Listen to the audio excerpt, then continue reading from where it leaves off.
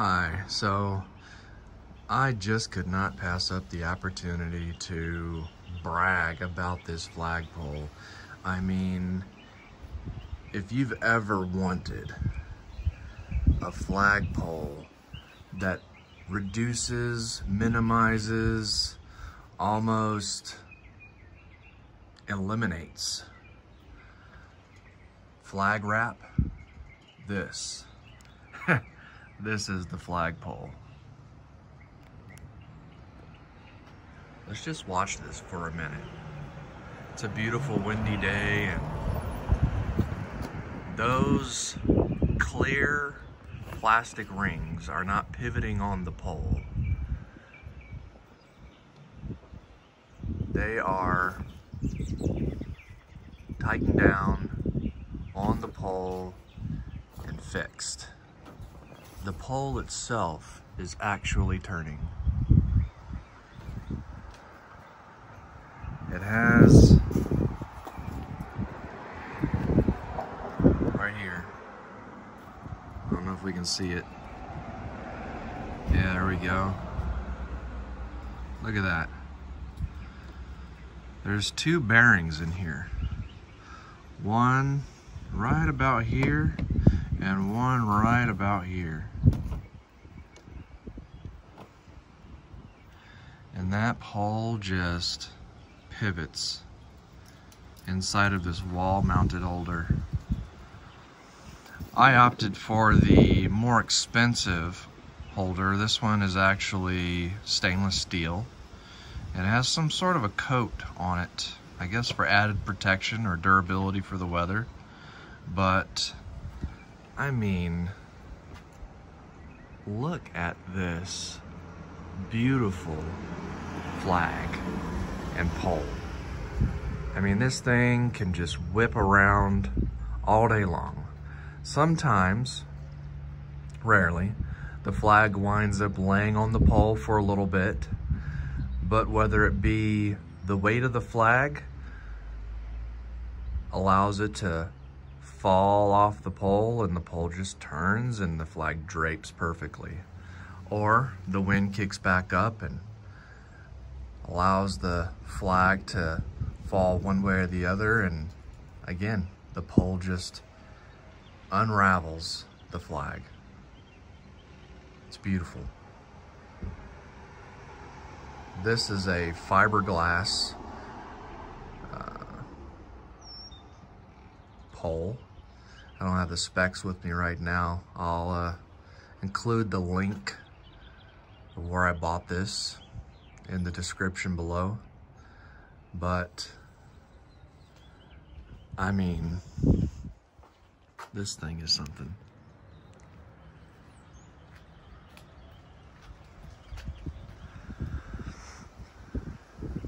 I actually bought the flag from the same company and opted for their more durable three foot by five foot flag.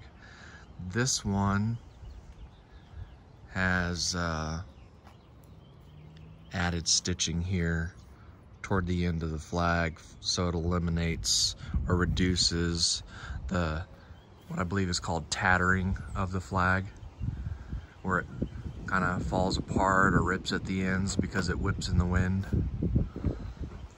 This material that they use is also uh, resistant to UV rays so it uh, reduces fade. It's a little bit uh, heavier construction as well. I probably didn't need this high of a quality flag for my environment, but I was just tired of having a flag that fades and tears uh, just after one season and always having to come outside or anytime I pass the pole, reach over and unravel it. It just seemed constant. See, look at that. Laid on there and rolled right off. Call me a flag nut if you want to. uh, crazy, whatever, but man, just the the colors, the red, white, and blue, and just the the beauty of it, the meaning behind it for me, is just I don't know, it just does something.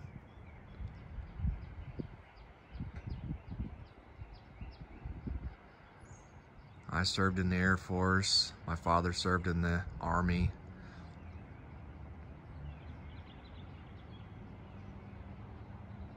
To me, that flag means something. It's a beautiful symbol. And to allow it to fly without restraint using this kind of a flagpole I mean, not only does it eliminate the, the hassle of having to unravel it all the time, but it just flies.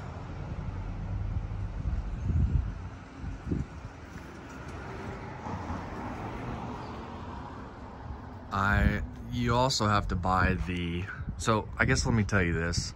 Probably should have started with it at the beginning of the video, but so the wall mount bracket, that's one piece that you have to buy.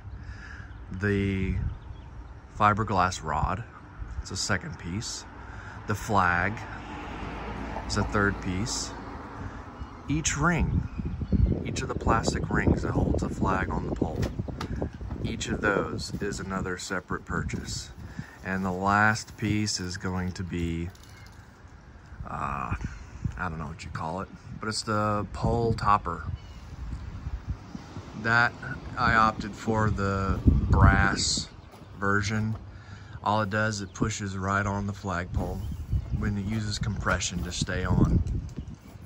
There's no screws or anything like that. They also sell a plastic version, but high quality pole mount, high quality pole, high quality flag, I figured.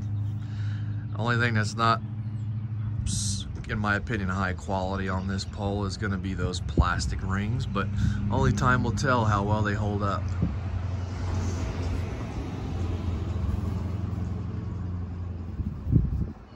This is just beautiful.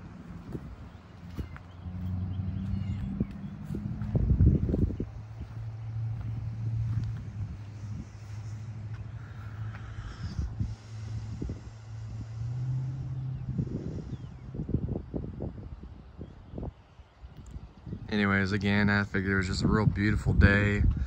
I couldn't pass shooting a video and, you know, letting other people know about this company that resells or makes and sells this setup. I mean, to me, this is a dream setup, aside from having a vertically, you know, ground mounted flagpole that you can fly a flag 12, 20 feet up in the air. I mean, for a wall mounted setup, this is a great product.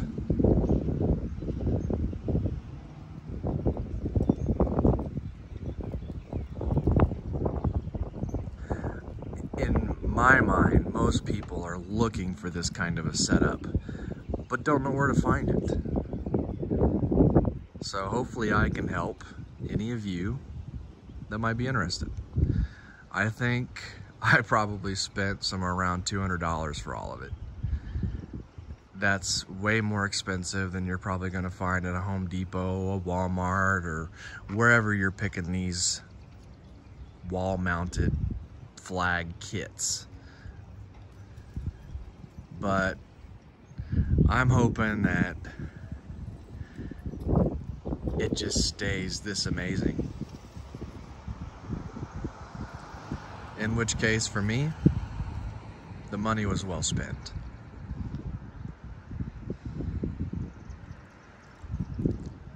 God bless America.